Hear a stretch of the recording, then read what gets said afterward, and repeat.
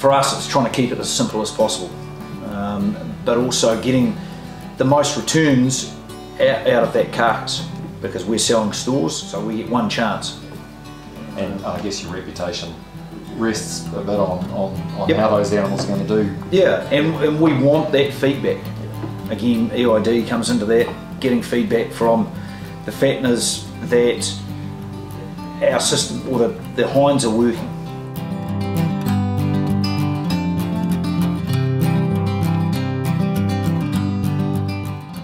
So you're using breeding values at all? Yeah, yeah, your we used um, certainly with the uh, deer improvement stuff, and also probably my best stags actually, but the, the next tier down are um, Paul Users at Taihebi. in the past. We have bought a couple of um, size steaks from Leatherdale Deer um, down south, and yeah, the, the breeding values we do find quite. I do use breeding values, and that and, and the confirmation. We do tend to go for one that has a higher EBV, but yeah, it makes it challenging when yeah, not not a lot of studs actually do use it. So. Um, So it'd be helpful if more of them did. yeah, yeah, it would, it would make, makes, um, gives you a lot more confidence, that's for sure.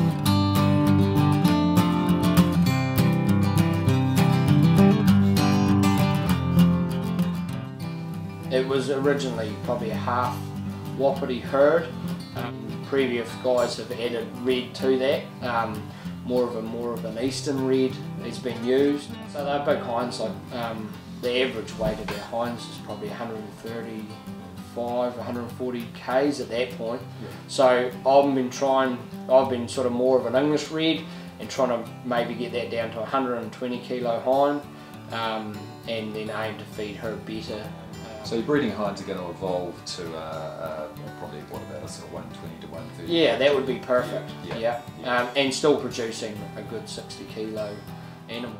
160 kilo hind that's producing um, 70 kilo weaner takes a lot of tucker Yeah, compared to a 120 kilo hind producing a 60 or 65 kilo weaner. What's your ideal hind? You know, growth and temperament has been has been basically the drivers, uh, and we've been well rewarded for that. Yeah, probably our hind size is getting large enough. Yeah, efficiency is probably um, something I'll want to be very aware of, aware of going forward. Uh, Just in terms of feed conversion. and feed conversion and the ability to handle the hill country. Some of our productive figures, I guess, um, that show quite a good, um, quite good results above the national average. Maybe be because we uh, we wean early and they fawn. Their average fawn date's probably a few days ahead of the national average. I think the national average fawn date's worked out about the 25th of November Right. well, we don't have many fawn, fawns born after that date. Most of our hinds for, are basically it in one cycle Yeah. Yeah. because we take the stag out pretty uh, early uh, most years. Before.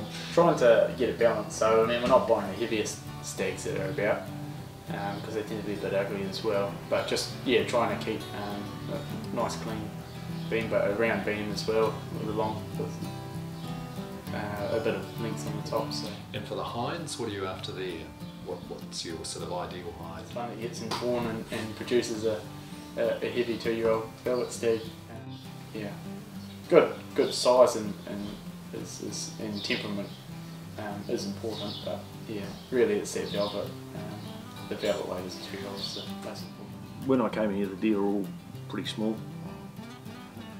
So I've been using an awful lot of Eastern uh, genetics from Deer Improvement, Mike Wilkins, Peel Forest to get some size into them.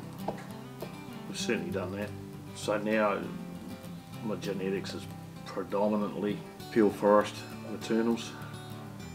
So long as they, they um, the stags have pretty good velvet.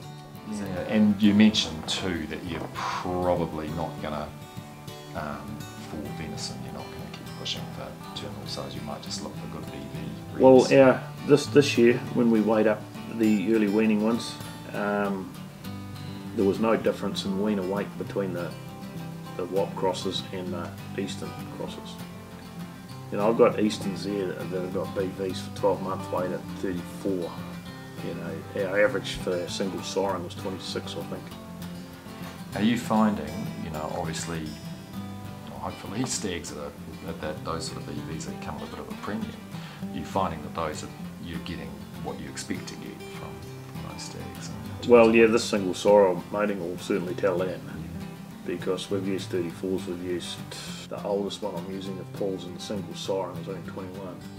Because we've never been too much on, on the recording side of things, and we've got the new shed and we've got the TSI bait thing, and, and the boys, while I was away overseas actually, put it, put all the hinds, the single siren mock hinds, on that. So we know the hind side of things, we know what the stag's gone to, so we'll we'll fawn them individually and just tag them, follow them through, which you know we haven't been able to do here with the old shed and the facilities. It's just it wasn't worth our while, but now we can, so we might just progress a bit quicker.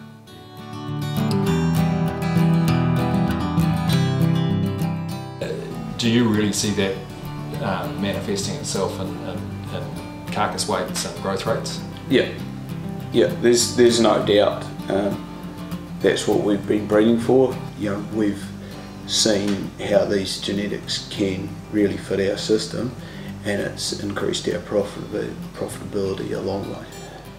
Because we've been finishing weaners that are that are bought in the whole time, we've recognised that there is a quite a difference in how certain animals perform um, that have got whatever the genetics are.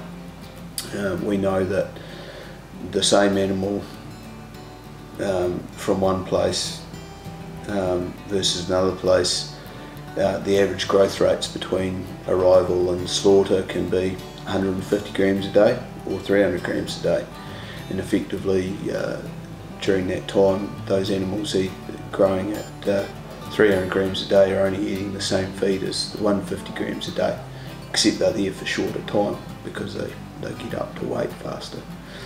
So that has been a, a key focus, um, and that's flowed well and truly through to our breeding operation as well.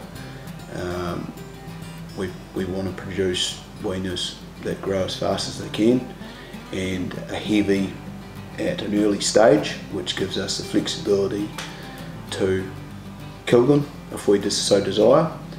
And if the climatic conditions dictate that we need to kill them earlier than we would like, because they're heavy, we still can. But conversely, we can still take them heavier if they've got the potential to grow further.